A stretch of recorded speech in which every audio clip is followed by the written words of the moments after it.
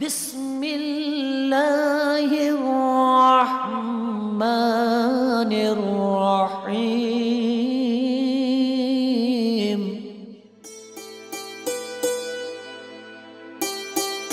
جو لوگ رکھتے ہیں اکاڑا کی ہسٹری سے دلچسپی آئیے انہیں دکھائیں۔ اکاڑا کی ویڈیو ڈاکومنٹری۔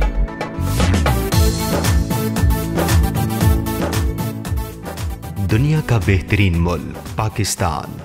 پاکستان کا شاندار صوبہ پنجاب اور پنجاب کا خوبصورت شہر اوکاڑا۔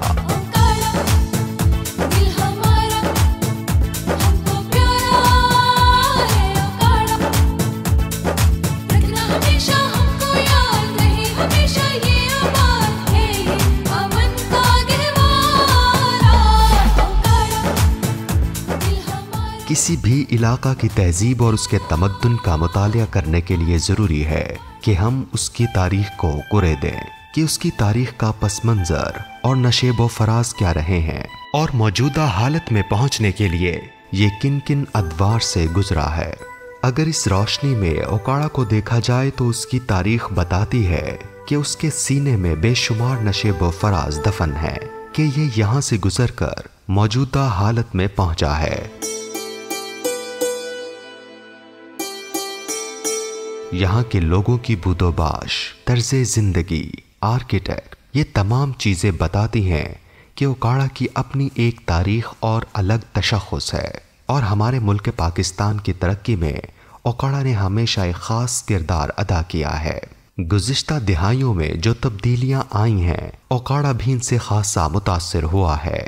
یہ تبدیلیاں معاشی بھی ہیں اور معاشرتی بھی۔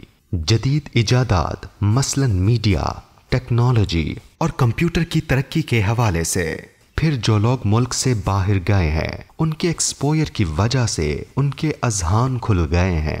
ان کی سوچ کا انداز بدل گیا ہے اور خاص کر تعلیم کی سہولیات عام ہونے کی وجہ سے ایک نمایاں تبدیلی آئی ہے۔ خاص کر اوکاڑا میں کیڈٹ کالج کا قیام ایک نمایاں اور مثبت تبدیلی ہے۔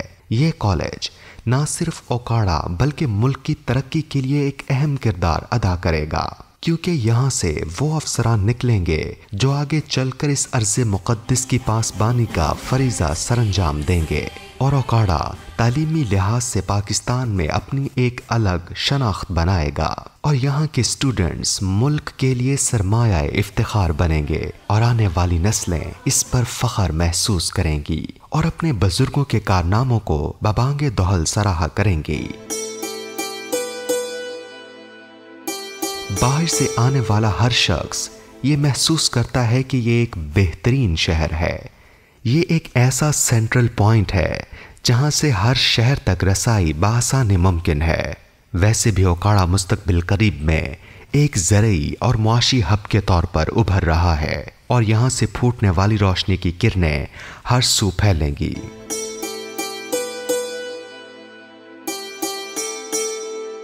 اوکاڑا شہر انیسویں صدی میں آباد ہوا، جبکہ ضلع اوکاڑا میں شامل قصبہ جات قدیم تاریخ کا حصہ ہیں۔ ایک روایت کے مطابق یہاں اوکاں کے درخت ہوا کرتے تھے۔ اس لحاظ سے یہ علاقہ اوکاں والا کے نام سے مشہور ہوا۔ اوکاں، ون اور کری کا درخت ایسے درخت ہیں جن کو کافی عرصہ تک پانی نہ بھی ملے تو یہ پرورش کر سکتے ہیں۔ یہ علاقہ اپنے جغرافیائی محل وقوع اور بر صغیر کی دولت مندانہ ترقی یافتہ، سیاسی، عسکری اور مذہبی روایات کے حامل شہروں کی گزرگاہ ہونے کی وجہ سے یورپ اور وسطی ایشیا کے آنے والے حملہ آوروں کے قدموں تلے روندا جاتا رہا۔ قبل مسیح کے عظیم یونانی ہیرو سکندر اعظم کے یورپ سے ایشیا تک کی آمد میں ضلع اوکاڑا کا خطہ گوگیرا، ستگرا دیپال پور بصیر پور اور حویلی لکھا وہ مقام تھے جنہوں نے اپنے جیالوں اور حریت پسندوں کی معرفت ان کے قدم آگے بڑھنے سے روک دیے اور یہ شکست خوردہ واپس لوٹے۔ ان علاقوں میں گوگیرا، ستگرا، حویلی لکھا بصیر پور کی تاریخ تین ہزار سال پرانی ہے۔ اس زمانے میں اس علاقہ کو ہڑپا تہذیب کی تمدنی مرکزیت حاصل تھی، جو تاریخ میں وادی سندھ کی عظیم تاریخ گردانی جاتی ہے۔ یہ علاقہ ترک، عرب، ایرانی، لودھی، منگولی، مغل شہنشاہوں کے علاوہ مرہٹوں اور ہندوؤں کا میدان کارزار رہا۔ اس علاقہ میں گپتا خاندان نے بھی حکومت کی۔ اور یہ علاقہ سکھوں کے زیر اثر بھی رہا۔ اٹھارہ سو انتالیس میں اس علاقہ پر انگریز قابض ہوا۔ اس علاقہ میں انگریز سرکار کے خلاف اٹھارہ سو ستاون میں بھرپور مزاحمت سامنے آئی۔ رائے احمد خان کھرل، مہر مراد فتحانہ اور مہر جلال ترہانہ شہید سمیت کئی دوسرے جیالوں نے حکومت کے خلاف جہاد کیا اور کئی مقامات پر انگریز حکومت کو شکست بھی دی۔ تاریخ گواہ ہے کہ ان حریت پسندوں کی تعداد معمولی تھی، لیکن انہوں نے لارڈ برکلے اور پچاس ساتھیوں کو قتل کر کے بے مثال جرت اور بہادری کی مثال قائم کر دی۔ آخر، ان ناقابل فراموش کردار کے مالک حریت پسندوں کو نور شاہ کے قریب شکست ہوئی، جس میں بہت سے افراد شہید ہوئے اور ان کی رہائش گاہوں کو نظر آتش کر دیا گیا۔ اور بکیا کو انگریزوں نے یا تو پھانسی دے دی یا تمام عمر کے لیے کالے پانی بھیج دیا۔ برطانوی راج میں دریائے راوی پر آباد قبائل پر ظلم و ستم کی انتہا کر دی گئی تھی۔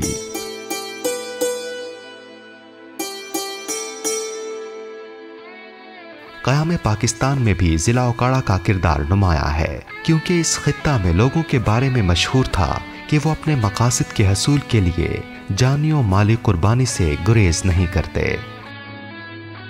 ان تمام مندرجہ بالا واقعات کو سامنے رکھتے ہوئے یہ روایت تسلیم کرنی پڑتی ہے کہ اوکاڑا اوکڑا کا ہی جدید لفظ ہے، جس کا مطلب علاقے کی حریت پسندی اور بہادری ہے، جبکہ اوکاں والے لفظ کی روایت غلط ہے کہ جرت اور حریت کو اوکاں کے کمزور درخت سے تشبیح دینا نا انصافی ہے۔ انگریز سرکار نے اٹھارہ سو انتالیس میں سکھوں کو شکست دینے کے بعد جب اس علاقہ میں اقتدار قائم کیا تو ایک نیا ضلع قائم کیا، جس کا صدر مقام پاک پتن شریف تھا۔ اٹھارہ سو باون میں ضلعی صدر مقام دریا راوی کے قریب واقع قصبہ گوگیرا کو بنا دیا گیا۔ اٹھارہ سو ستاون کی جنگ آزادی کے فوراً بعد ضلع صدر مقام منٹ گمری موجودہ ساہیوال بنا دیا گیا۔ اٹھارہ سو چونسٹھ میں کراچی سے لاہور کے درمیان ریلوے لائن بچھائی گئی۔ 1967 میں اس ضلع کے صدر مقام کا نام منٹ گمری سے ساہیوال میں تبدیل کر دیا گیا۔ 1915 میں اوکام والا یعنی اوکاڑا کو قصبہ تحصیل قرار دے دیا گیا۔ 1949 میں ٹاؤن کمیٹی کو میونسپل کمیٹی کا درجہ دے دیا گیا۔ قیام پاکستان کے بعد اوکاڑا ضلع نے ملکی ترقی میں ایک اہم کردار ادا کیا۔ اور اس کا شمار بڑے مرکز اور اجناس کی منڈیوں میں ہونے لگا۔ متحدہ ہندوستان میں اوکاڑا کی غلہ منڈی سے جو ریٹ نکلتے، وہی پورے ہندوستان میں رائج اور نافذ العمل ہوتے۔ یکم جولائی انیس سو بیاسی میں اوکاڑا کو ضلع کا درجہ دے دیا گیا، جس میں دو تحصیلیں اوکاڑا اور دیپال پور شامل تھیں۔ بعد ازام رنالا خرد کو انیس سو چھیاسی میں سب تحصیل کا درجہ دے کر انیس سو بانوے میں تحصیل کا درجہ دے دیا گیا۔ جبکہ دو ہزار گیارہ میں باقاعدہ طور پر جوڈیشری نے بھی اپنا کام شروع کر دیا۔ اگر اوکاڑا کی سیاست کی بات کریں، تو ملکی سیاست میں اوکاڑا کو واضح مقام حاصل ہے۔ اوکاڑا کی تاریخ نے ایسے ایسے سیاستدانوں کو جنم دیا ہے کہ اوکاڑا کو وزیروں کے شہر کے نام سے بھی جانا جاتا ہے۔ اوکاڑا تین تحصیلوں یعنی اوکاڑا دیپال پور رنالا خرد پر مشتمل ہے۔ ضلع اوکاڑا میں شامل دوسرے قصبہ جات میں دیپال پور رنالا خرد حجرا شاہ مقیم شیر گڑھ بصیر پور حویلی لکھا گگیرا ستگرہ۔ اوکاڑا چھاؤنی فتح پور اختر آباد منڈی احمد آباد جبوکا، لاشاریاں، چوچک، جندراکا باما بالا اور شاہ بور شامل ہیں۔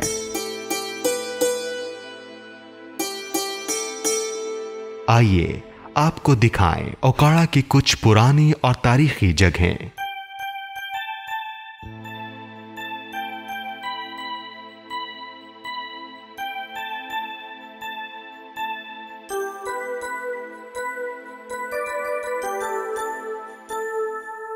قلعہ بھمن شاہ نزد دیپالپور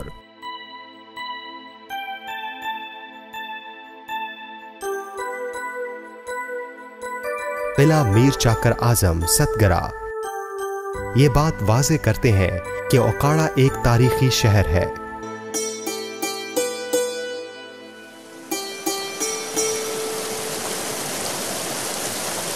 رنالا خود اور اوکاڑا میں انگریز نے جب کاشتکاری کا منصوبہ بنایا تو انیس سو تیئیس میں لوئر باری دواب نہر نکالی اور جدید آبادکاری کے تحت چکوک کو نمبر دے کر علاقہ میں کاشتکاری کا آغاز کیا گیا۔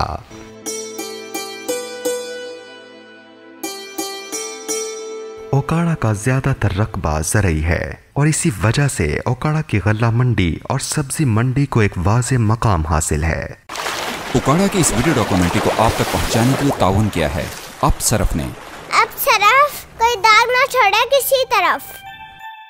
کاشتکاری کے حوالے سے بات کریں تو آلو چاول اور مکئی کی پیداوار میں اوکاڑا کا نام انتہائی شہرت کا حامل ہے۔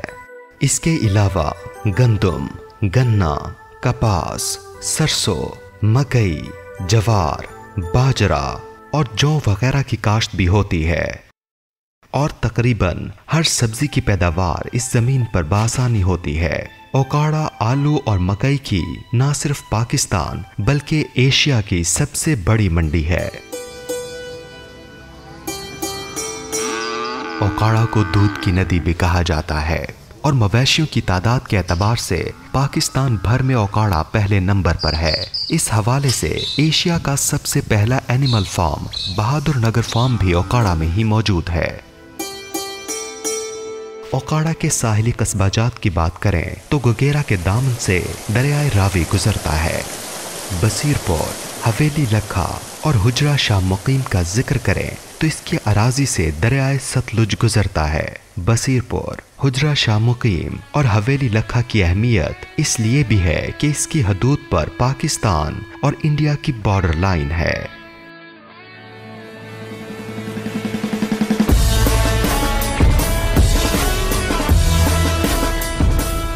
ضلع اوکاڑا میں واقع چھاونی، پاکستان کی دوسری بڑی چھاونی ہے۔ اور دفاعی لحاظ سے خاص اہمیت کی حامل ہے۔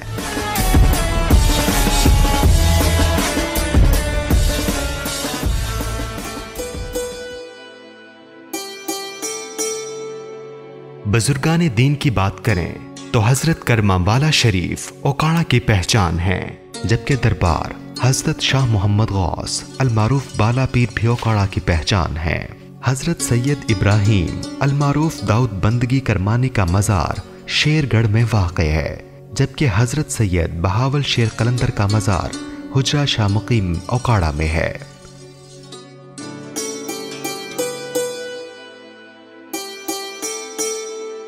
اوکاڑا کی خوبصورتی میں خاص اضافہ، جہاں لوگوں کو سہولیات پہنچانے کے لیے کثیر تعداد میں تمام محکمہ جات ایک ہی جگہ منتقل کر دیے گئے۔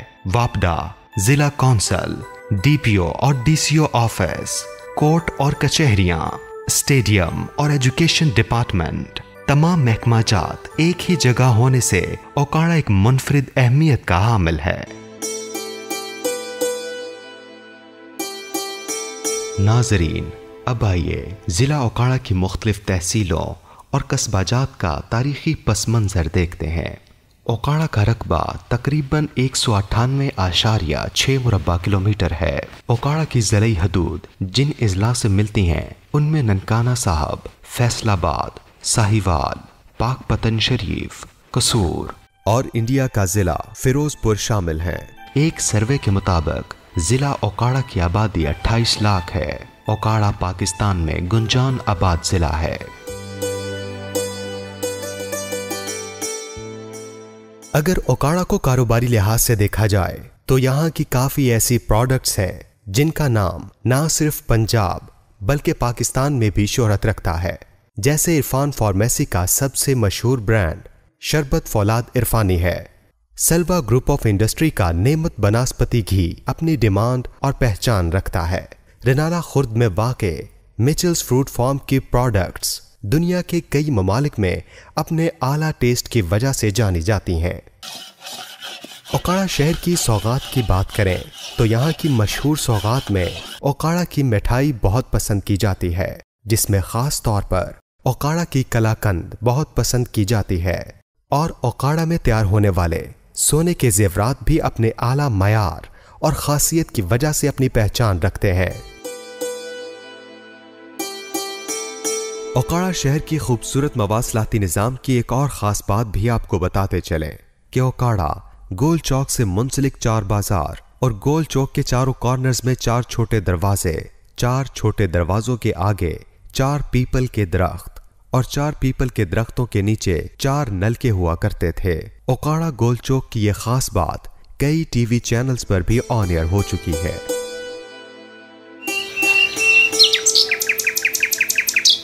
اگر اوکاڑا شہر میں مختلف پارکس کا ذکر کیا جائے، تو ان میں سب سے بڑا اور پرانا پارک کمپنی باغ ہے، جسے اب صفدر شہید پارک کے نام سے جانا جاتا ہے۔ جبکہ جناح پارک فیملی پارک میاں محمد زمان کمپلیکس، پرانی مال منڈی اکبر روڈ کی جگہ پر انتہائی جدید پارک بنایا گیا ہے اور اوکاڑا بائی پاس پر سوزو واٹر پارک بنایا گیا ہے۔